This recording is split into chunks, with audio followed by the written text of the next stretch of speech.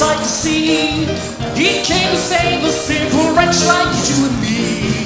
It's good to know that he has come to rescue me. He has come. He has come. Let heaven and earth rejoice that all is come. John.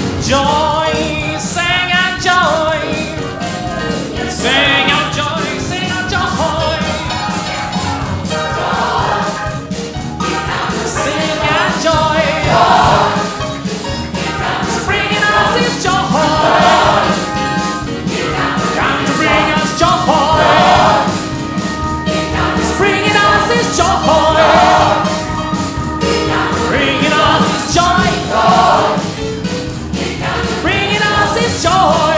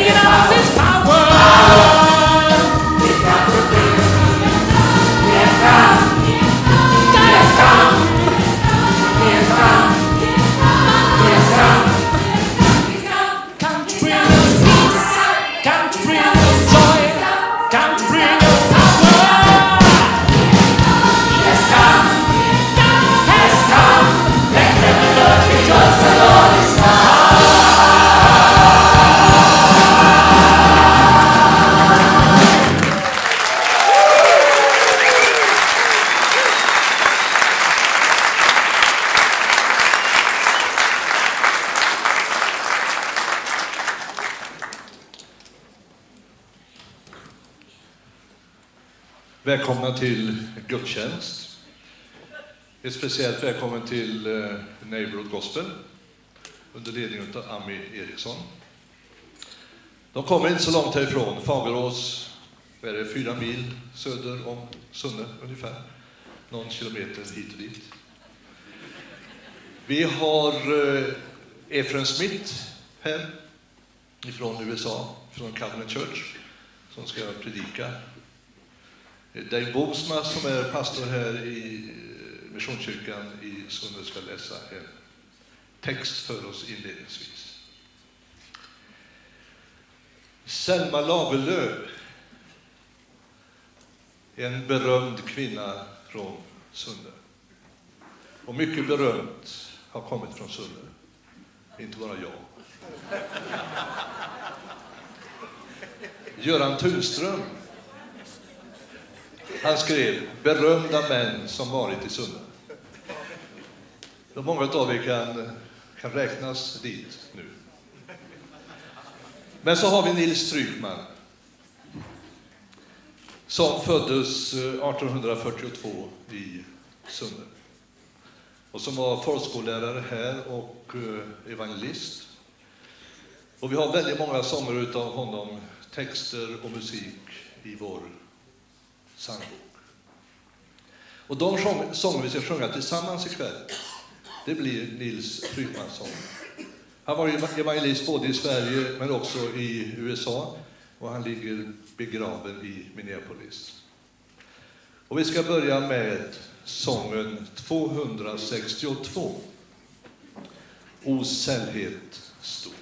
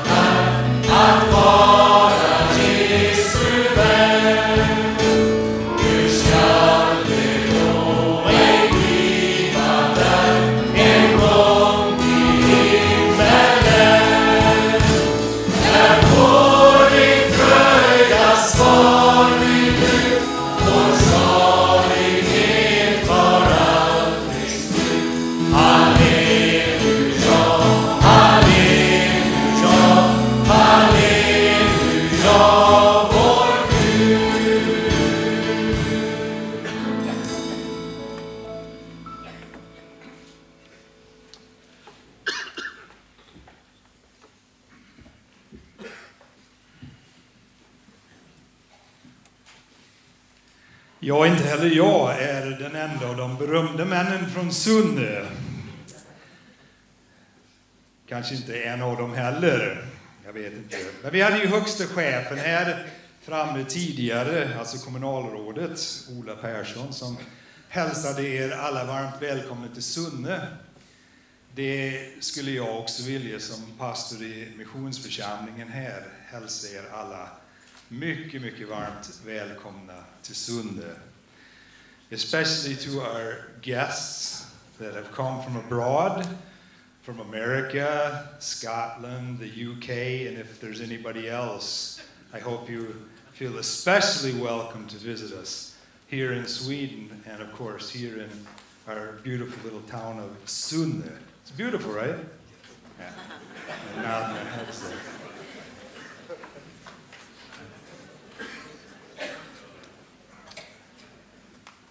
Jag ska läsa för er en text ifrån Efesiebrevet. Och det är från den fjortonde versen och till slutet av kapitlet. Därför böjer jag mina knän för Fadern, han från vilken allt vad Fader heter i himlen och på jorden har sitt namn.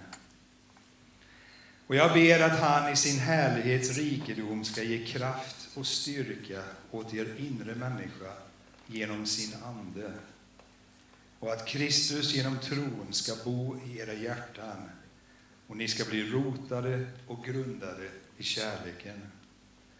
Ni ska då tillsammans med alla de heliga kunna förstå bredden och längden och höjden och djupet och lära känna Kristi kärlek som går långt utöver vad någon kan förstå.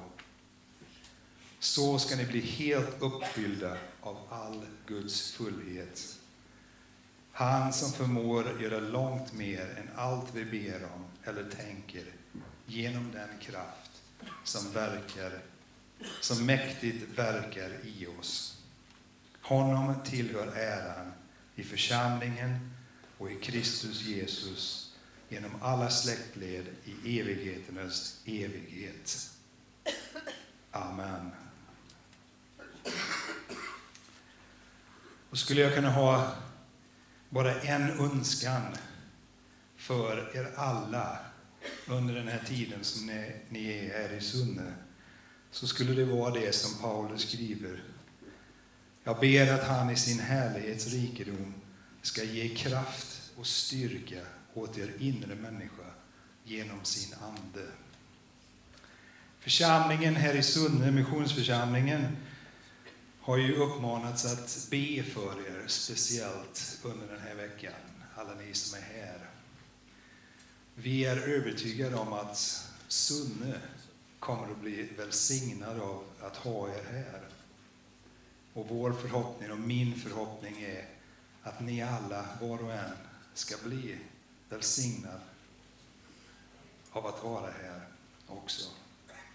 Att vi ska få tillbringa dagar och vi får hämta styrka, kraft åt vår inre människa genom Guds ande. Ska vi be tillsammans?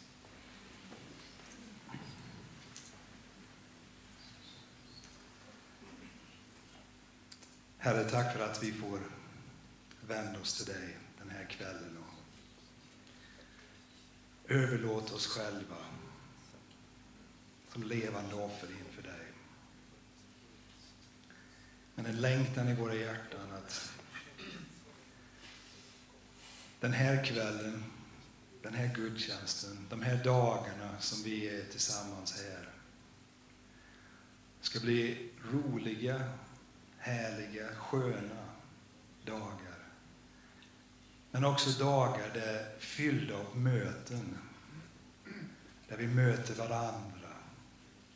Men där vi framför allt får möta dig. Tack för att du är här för att ge styrka åt vår inre människa.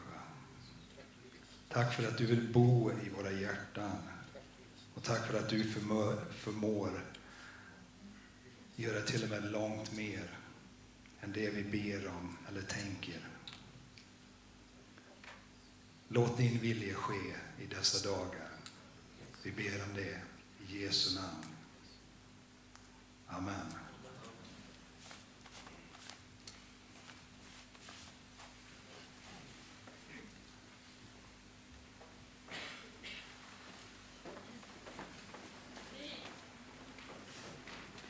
Vi är glada att få vara här. Vi är nästan hemma, tycker vi. Fagerås, det åkte man igenom förr. när 45 och 61 korsade så fikade man det själv. Nu är vägen från Fagerås och Shell finns inte heller mer, så vi knappt finns till. Men eh, för att bara bevisa att vi ändå finns till så, så ses vi i Missionskyrkan och sjunger gospel. Och vi har faktiskt folk från Sunne i vår gospelkör, så det är lite hemmaplan. Vi har i år funnits till 20 år. Och den här låten som vi har tagit med hit ikväll, den, den har följt med oss hela vägen. Och det är så att de här, det finns låtar som aldrig blir för gamla. Och eh, Ove, ta över. Ja, har, har du någon mick? Du har en mick, vad bra.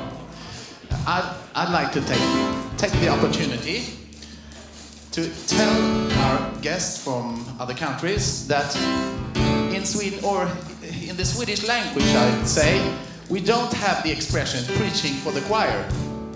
That's important for us to, for me to tell you. Preaching for the choir that can't be translated into Swedish. You don't have the expression preaching for the preachers. No? You don't? The choir singing for the preachers. You have? Yes? With the preachers is now. Because here comes three gospel standards. Okej? Vi sjunger med er allihop, för det här är kända låtar.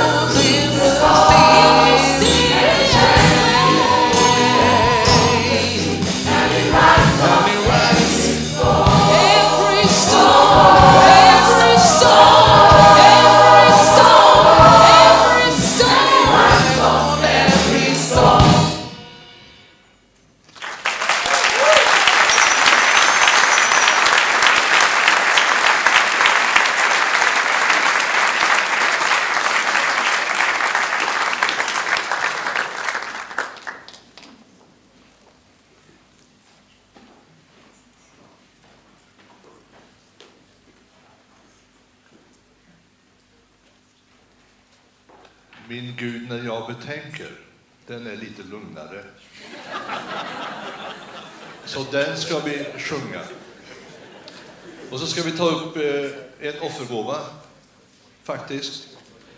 Och det blir Rätt till tro, alltså GFs insamling för internationellt arbete. Så vill jag bara påminna eh, om två saker.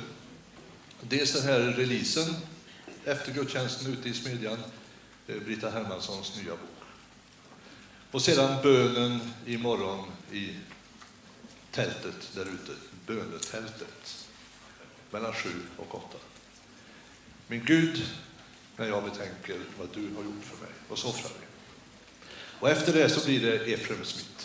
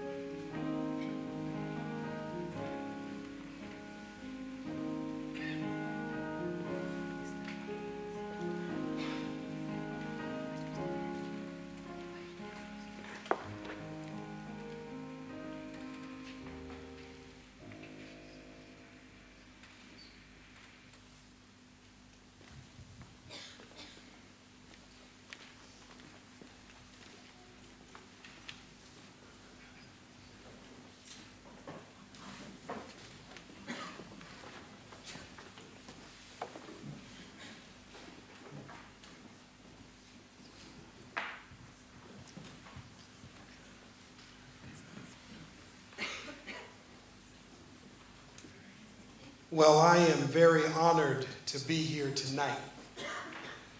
As an African American from the United States, I had a blessed opportunity in 2001 to go to South Africa. And um, when I arrived in South Africa with my wife, Denisha, uh, some of the brothers and sisters in South Africa with open arms said to me when we arrived, Welcome home. Uh, In 2010, I went to Nairobi, Kenya. And when I arrived in Nairobi, once again, some of the brothers and sisters from Kenya, with open arms, said to me, Welcome home. Being that I am a part of the Evangelical Covenant Church of North America, I now once again have come to my motherland of Sweden. So I was hoping maybe you could open your arms and say to me, Yes, your cousin from the United States has arrived.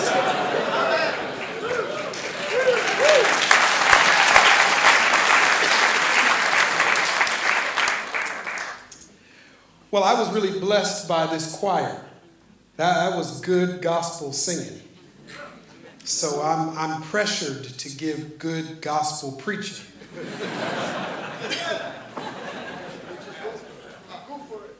Oh, see, somebody, somebody lied and said they don't say amen in Sweden.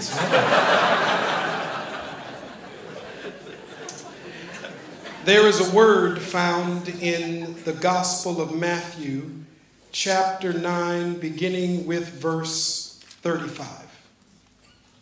The Gospel of Matthew, chapter 9, beginning with verse 35. Jesus went through all the towns and villages, teaching in their synagogues and proclaiming the good news of the kingdom and healing every disease and sickness. When he saw the crowds, he had compassion on them because they were harassed and helpless like sheep without a shepherd. Then he said to his disciples, The harvest is plentiful, but the workers are few. Ask the Lord of the harvest, therefore, to send out workers into his harvest field. Chapter 10, verse 1 says, Jesus called his 12 disciples to him and gave them authority to drive out impure spirits and to heal every disease and sickness. Verse 7, Jesus says, As you go, proclaim this message the kingdom of heaven has come near. Heal the sick, raise the dead Cleanse those who have leprosy, drive out demons. Freely you have received, freely give. From this text, I want to preach to you on the title Missional in a Multicultural World. Missional in a multicultural world. God, I pray that this would be your message. God, I pray that you would preach and I would just be the vessel that you are using tonight to speak to my sisters and brothers, your beloved children. In Jesus' name, amen. amen. Missional in a multicultural world. Some of you, like me, may remember the black and white television. When I was a kid, we, I, we had a black and white television in my house, and it only had five channels. Oh man, y'all, oh, so I was blessed.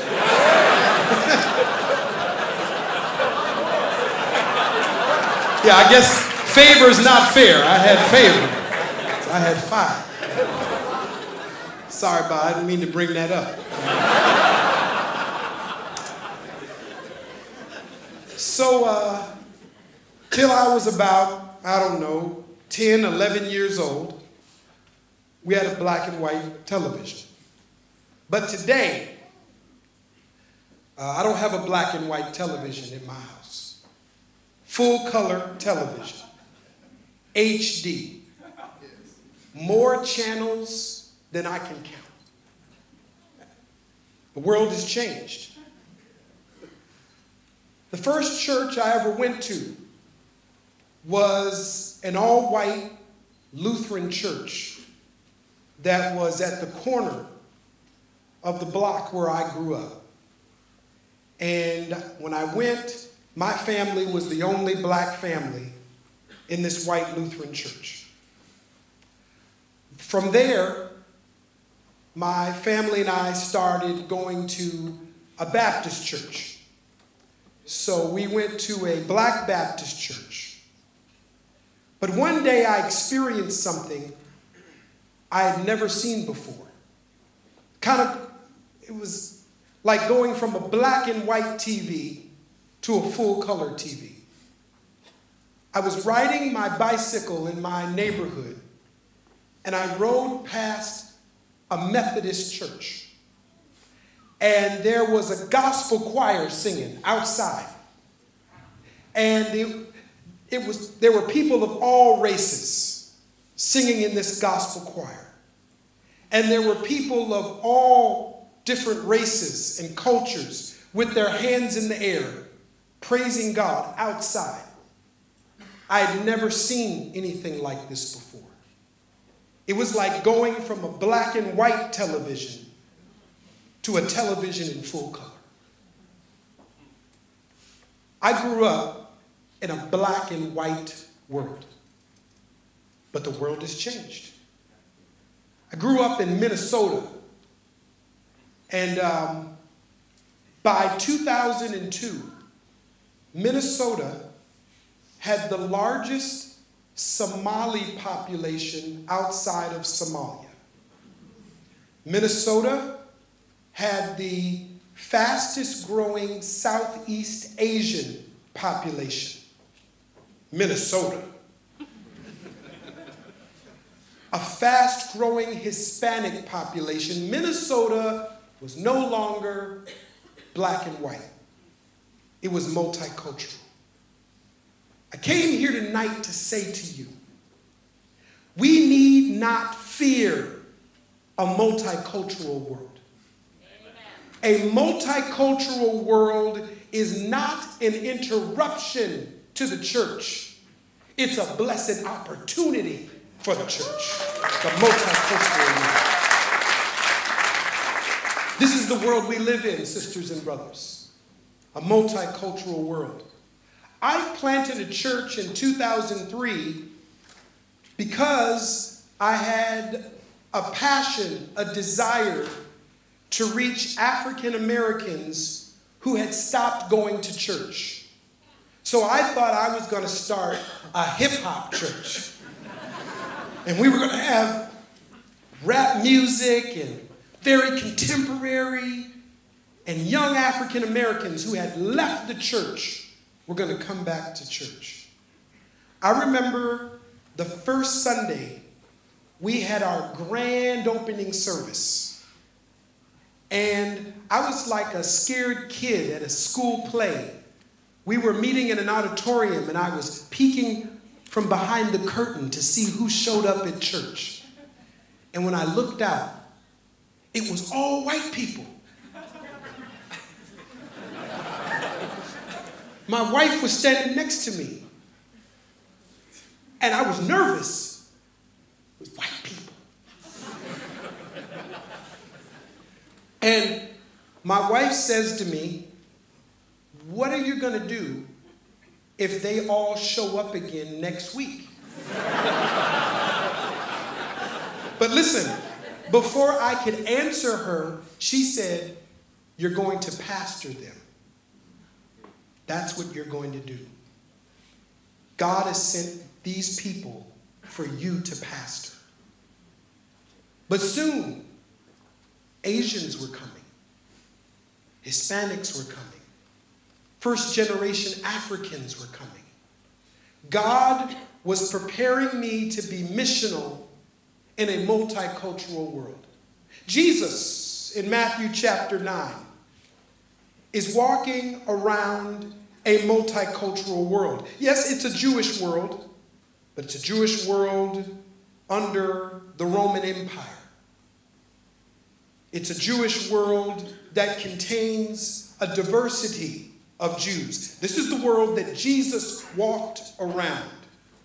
as he walked the earth in human form. And Matthew chapter 9 begins by saying that Jesus was in a house and a man who was paralyzed was brought in. And Jesus not only gave him the ability to move around the earth, but to one day move into eternal life. Jesus did that. Jesus met a tax collector.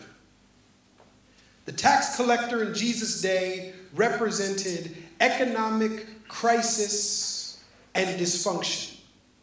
My country knows a lot about this right now. But yet, Jesus built a relationship with the tax collector. Then a man said to Jesus, My daughter has died, but will you come see about her? An interesting request. On the way to the funeral, big crowd comes because the word is getting out.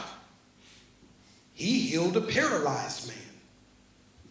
He ate with a tax collector. Now he's on his way to a funeral.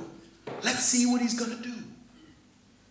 On the way, a woman with a disease. See, in Jesus' day, if you were a woman, you were an outcast. Especially if you were a diseased woman in Jesus' day. But yet, this marginalized, outcast woman pressed through a crowd and touched the clothes of Jesus. And she was healed and given dignity. She found herself touching Jesus. Jesus makes it to the funeral. And, and he kicks everybody out of the funeral. He looks at the dead girl and says, My daughter, get up. And she does. That's Jesus. And it's as if Matthew didn't have any more time in that chapter to tell us everything Jesus did in this multicultural world. So he says, Look, Jesus went from city to city, town to town, village to village, and he healed and he preached. And Jesus looked at this multitude, a multitude of Jewish, Roman, and multicultural people. Jesus looks at the crowd, and the Bible says he has compassion on them. The word in the Greek for compassion is the inside of God, the intestines of God. The inside of God is compassion. When God looks at a multicultural world, it pulls compassion, it pulls love out of God. Here is the question when the church looks at a multicultural world, what does it pull out of the church? It ought to pull the love of God out of the church. Compassion, justice, mission should come out of the church when it looks at a multicultural, broken world. It ought to pull the best of God out of the church. Yes. You can say amen if you want to. no pressure. Just, you want to. The church in this multicultural world needs a missional and multicultural urgency. We should look at the world around us and have an urgency to bring into that world the love of God, the truth of God, the justice of God, the reconciliation of God, the redemptive story of God is what should come out of the church poured into the world around us. If we are going to be missional in a multicultural world, we need a sense of urgency. We, we, we need to be anxious. But that's not all. Jesus says to his followers, the harvest is plentiful, which means there, there are millions of lost sheep in this multicultural world. Too many to count. So we should ask God to send more workers into this multicultural world to be missional. And before they can even get into the prayer, Jesus says, You go. He first sends them to their own people, some of their own lost people. But then later in the Gospel of Matthew, as it comes to a conclusion, in the last chapter of the Gospel of Matthew, we find out that we are to bring the good news, the gospel, to all nations. Not just the Jewish nation, but to every nation, we are to make disciples. We are to bring the love of God, the justice of God, the peace of God, the truth of God, the transformative power of God to every nation, every people group, every language, every culture. This is the mandate. Not only do we need a missional urgency, we need to understand that God has given us a missional authority. God is still saying to the church, go to every nation. The good news is the nations are coming to us. The nations are coming to the United States. The nations are coming to Sweden. The nations have come to Sweden. And so we don't even have to say, How do I raise all my money to go to another nation? The nation has paid their way to you.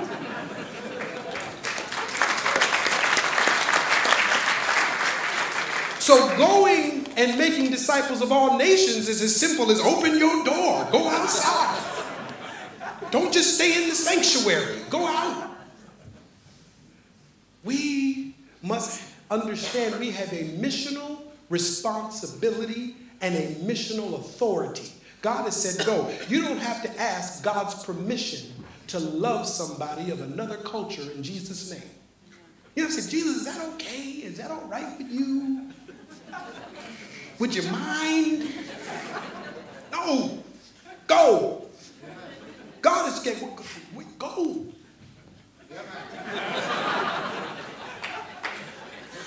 You have the missional authority.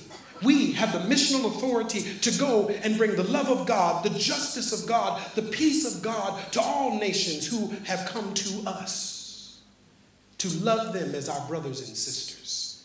The welcome home is not just meant for me. The welcome home is a welcoming into the kingdom of God to all nations. Come on. Come on in. Come. Not into the church, into the kingdom of God. Come, come. An urgency, an authority, and a responsibility, a mandate. Now, as I come to my close, you may be wondering though, but how do I bring the kingdom message, the love of God, the truth of God, the peace of God into a multicultural world? Sometimes this can be very intimidating, but I want you to know that there is more in you than you know. Through the Holy Spirit, God has placed a powerful force in you through the Holy Spirit. And I want to talk about this. I want, I want to end by talking about Matthew chapter 1. But before I get to it, I want to tell you a little story. I grew up believing with all my heart I'm black. And that's, that's you know, that's pretty true. I'm black. But when I went to my family reunion on my mother's side, I found out that my great great grandfather on my mother's side of the family was full blooded Irish. That's right. I'm Irish. My great great grandfather, who was full blooded Irish, married a woman who was half African American, half Cherokee Indian, Native American. And she could trace her roots back to a slave girl named Jenny. That's, that was her slave name, Jenny. But because of her faith on the plantation, they called her Easter. Hmm. So even in slavery, God was planting a foundation of faith that would impact my life generations later. So even though I live in a world that says I'm black, I, I, I'm, I'm African American, I'm Native American, I'm Irish. There's more in me than the world knows. But you know what? Jesus living in me is bigger than that. Because in Matthew chapter 1, it gives us the earthly genealogy of Jesus. I usually don't read genealogies in the Bible. It's boring. But they're important. In the genealogy of Jesus, in his family tree, now let me first say, the main thing to know about Jesus' family tree is he's the Son of God. In the beginning was the Word, the Word was with God, the Word was God, he became flesh. So his heritage is ultimately in heaven.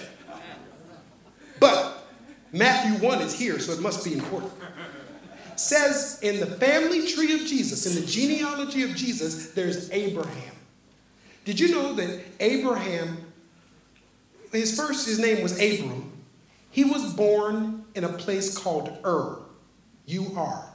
If you take a biblical map and compare that to a map today, he was born in Iraq. He's in the bloodline of Jesus. Iraqi Abram is in the family tree of Jesus. He's in the bloodline of Jesus. There's a woman named in verse 3. Her name is Tamar. Tamar was a Canaanite woman, which means she was, would have been considered a cursed person. Because that's how the Canaanites were looked at. Because Noah cursed his grandson Canaan. This woman is cursed, but she's in the bloodline of Jesus. So even if the world calls you cursed, there's still room for you in the family of God. Now, I need to tell you something about Canaan. Even though he was cursed by his grandfather Noah, Canaan and his family are the original inhabitants of Israel and Palestine. There was a time when Israel and Israelis and Palestinians were in the same family. Hmm? But let me say this Canaan had brothers, Mizraim, Put, and Cush. Do you know that between those brothers, they're the original inhabitants of Libya, the original inhabitants of the Sudan, of Ethiopia?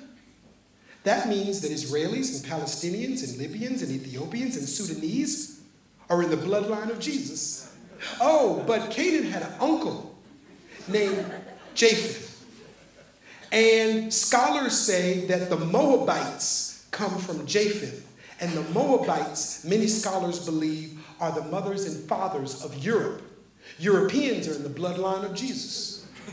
I mean, you should have shouted right there, but that's all right.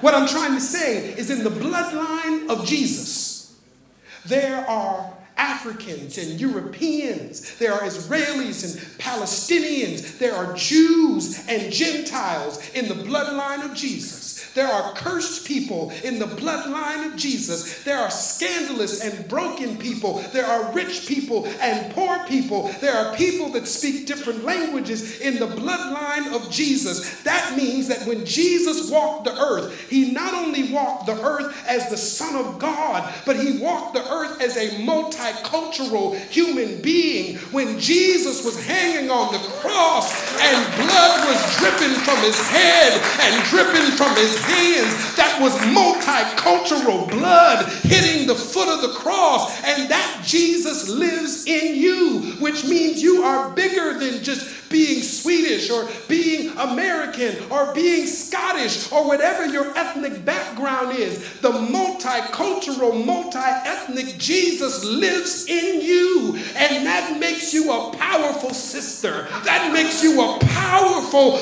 brother because the God of heaven and earth, the God who came to earth in human form and gave the paralyzed mobility and gave healing to the sick and raised the dead, lives in you. And that ought to be good news, brother. That ought to be good news, sister. That means you can go wherever God calls you to go.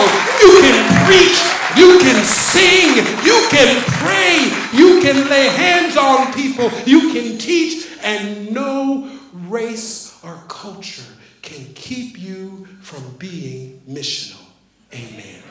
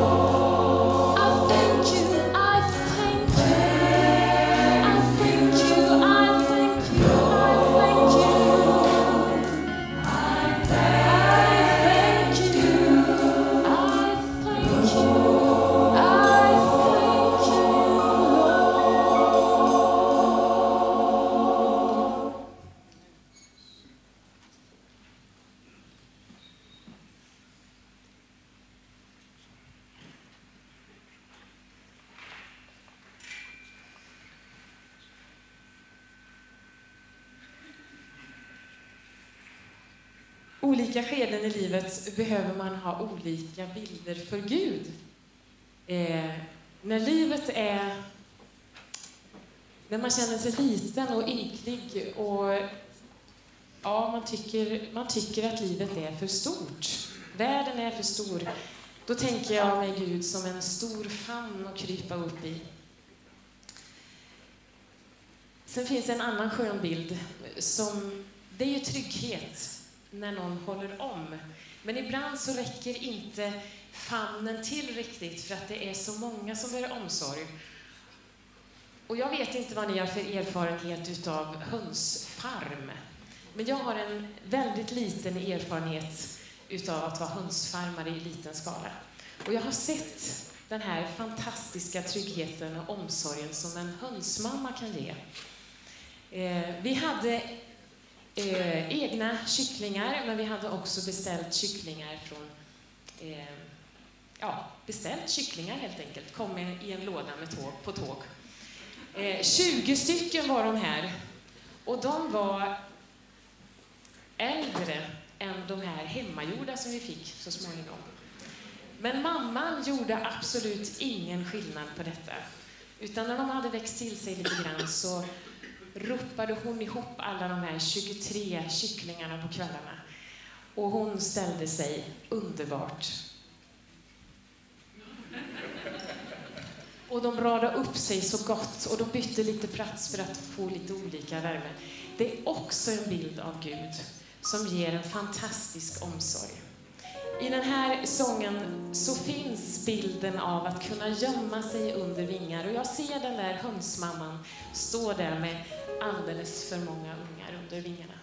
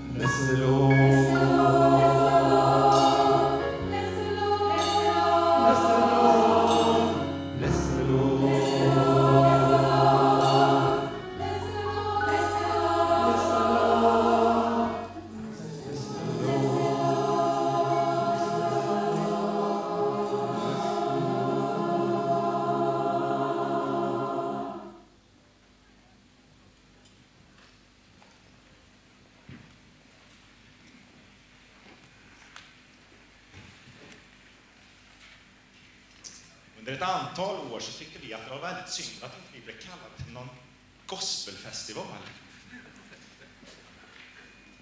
Så vi gjorde som vi brukar göra i Fagerås, att vi löser det själva. Är det, eh, har ni hört värmländska förut? Är det nu vi behöver tölk? Eh, eller var det bra ändå? Det var bra ändå. Utan tölk. Okej. Annars kan Ove tolka till mig kanske. Vi tänkte att vi får, vi får hitta på en gospelfestival själva. Och då får ju vi vara med, tänkte vi. Det var ju liksom en sure thing. Så för fyra år sedan så drog vi igång, eller nu kommer det fjärde året, så för tre år sedan drog vi igång. Och vi har 10 till 12 medverkande grupper eller körer, ungefär 200 sångare och musiker, som tillsammans under en dag ger 35 konserter i sex olika lokaler i Fagerås.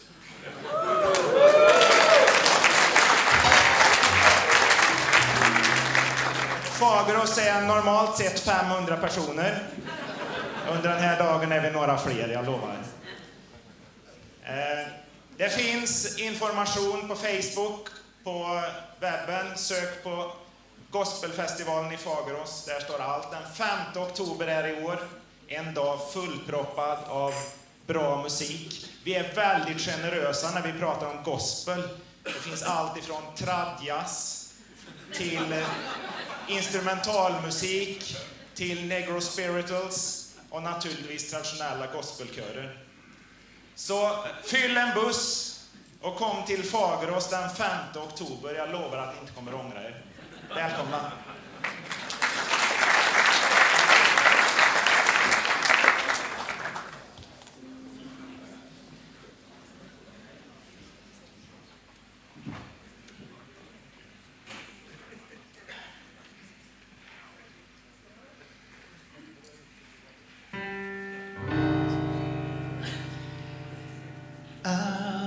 So much to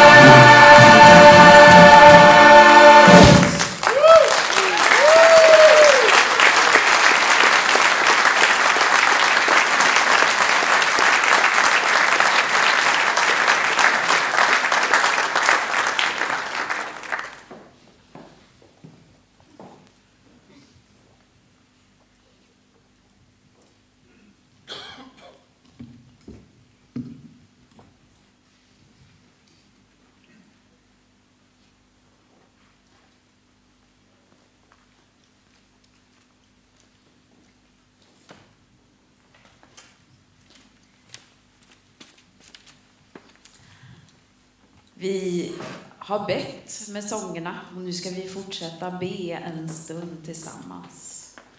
Låt oss be. Tack gode Gud för din fantastiska skapelse, att vi får vara en del av den, att vi får vara dina fantastiska medarbetare, medtjänare i all vår olikhet. Och tack att du förenar oss och enar oss i dig själv och i din son Jesus Kristus. Vi vill fira detta, att vi tillsammans utgör en fantastisk palett av färger, former, händelser, ögonblick. Tack Jesus att vi får följa dig dit du kallar oss. Att vi får vandra genom gränsland, att vi får vandra i den, denna multikulturella och fantastiska värld. I osäkerhet men också med många möjligheter. Tack gode Gud för mötet med dig själv. Det möte du bjuder oss just nu och det möte vi får förvänta oss att vi ska få vara med om. Tack för mötet med varandra och tack för den gåva av förvandling och växt som du bjuder oss. Gud, vi vill fråga dig, vart är vi på väg? Vilka vill vi vara? Vem vill jag vara? Och så förväntar vi oss att möta dig för att ta vidare steg. Heliga Ande, lär oss att se din värld med öppna ögon. Inte så som vi önskar att den var, eller som vi tror att den borde vara, utan så som den verkligen är. Öppna våra ögon ännu mer så att vi ser och öppna våra öron ännu mer så att vi hör. Och lär oss att göra skillnad just där vi finns för hela din värld. Identifiera våra tankars fängelse och befria oss till att tjäna dig, Jesus Kristus. För vi vill tjäna dig så som du tjänar oss. Vi vill tjäna dig och följa din kallelse. Vi vill tjäna dig med det som kanske inte alls syns här i världen, men som berättar någonting om vem du är, Jesus Kristus. Så ber vi om din välsignelse över oss var och en. Vi ber särskilt för den som kommer med stor trötthet, som kommer med stora frågetecken i sina liv och som kommer med frågor om vart vägen bär framöver. Just de människorna, de av oss som är där just nu i våra liv, vill vi särskilt lägga fram inför dig och be om ledning och kraft och mod. Och så ber vi för oss alla att du ska ge oss mod och kraft att vara i de förändringar och i den rörelse som det innebär att följa dig, att möta dig, att lära av dig och att tjäna dig. Vi ber i ditt namn, Jesus Kristus. Amen. Så får du gå med Guds välsignelse. Herren välsignar dig och beskyddar dig. Herren låter sitt ansikte lysa mot dig och visa dig nåd. Herren vänder sitt ansikte till dig och ger dig sin fred och frid. I Faderns, Sonens och den heliga Andes namn. Amen. Och så en sak till ska vi få vara med om och vi ska få sjunga en Frykmansång till, nummer 13 i den psalmbok som ni inte har. Min framtidsdag är ljus och.